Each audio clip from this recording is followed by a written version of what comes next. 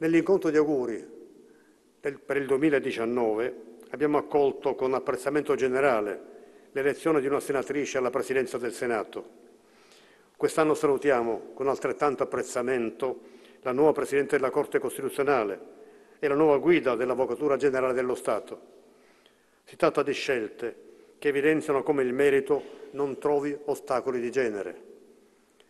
La presenza delle donne ai vertici delle istituzioni e nei ruoli di responsabilità delle imprese e della società civile è uno straordinario fattore di crescita e di equilibrio. Stiamo compiendo passi in avanti, anche se ancora non siamo vicini al traguardo. Resistono divari e dobbiamo affrontarli con determinazione per superarli al più presto. Penso in particolare al dato dell'occupazione femminile, troppo carente rispetto al resto dell'Europa. Il lavoro delle donne è oggi per il nostro Paese la principale opportunità di crescita e di sviluppo.